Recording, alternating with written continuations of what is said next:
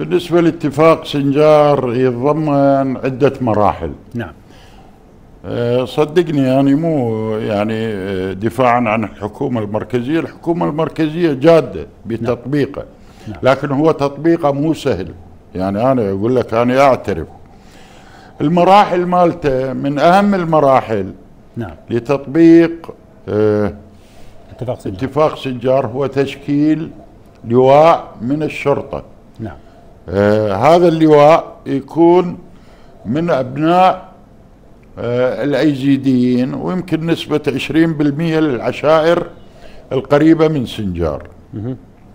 بعد هذا الإدارة آه جديدة محلية ترجع إلى سنجار نعم هذه من أهم البنود وطبعا من يتكون هذا اللواء آه راح يكون هو فقط داخل المدن يعني داخل سجار داخل مركز ناحية الشمال القحطانية الجيش وكل ال- التنظيم التنظيمات العسكرية حشود تكون خارج آه المدن فقط الشرطة المحلية. طيب. طبعا إحنا حاليا عندنا أفواج من الشرطة المحلية وأكثرهم من اهلنا اليزيديين. نعم. اللي صار شنو؟ نعم. آه الحكومة العراقية عززت الحدود تحركت فرقة من الشرطة الاتحادية حلت محل الجيش على الحدود العراقية السورية بقاطع سنجار. الجيش عزز تواجده الفرقة 20 وجزء من فرقة 15 حول مدينة سنجار وحول ال- المنطقة. لكن اللي تاخر شنو؟ اللي تاخر تشكيل آه لواء الشرطة. نعم. طبعا لواء الشرطة يعني هو مو آه، آه، آه، تأخر أنه الحكومة مأخرته تدري هذا إلى تخصيصات مالية أكو معوقات بالمالية. هذه نقطة.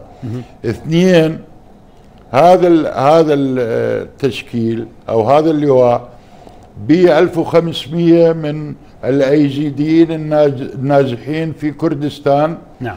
والبقية من الأيزيديين اللي موجودين في آه، منطقة آه، سنجار. نعم. من فتحة والتقديم آه، يمكن أكثر من 25 ألف إجا 50 ألف.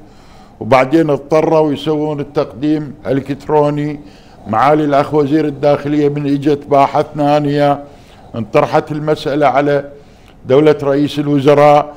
دولة رئيس الوزراء وجه السيد وزير المالية في حينها وأيضا وجه الأخ وزير الداخلية اللي افتهمته من الأخ معالي وزير الداخلية الآن ال 1500 تم مقابلتهم حاليا دا يقابلون آه العدد الآخر اللي بحدود ألف من منطقة سنجار طيب. إذا ما نعم، نعم. يتم تشكيل هذا اللواء نعم نعم. الإدارة المحلية لا يمكن ترجع.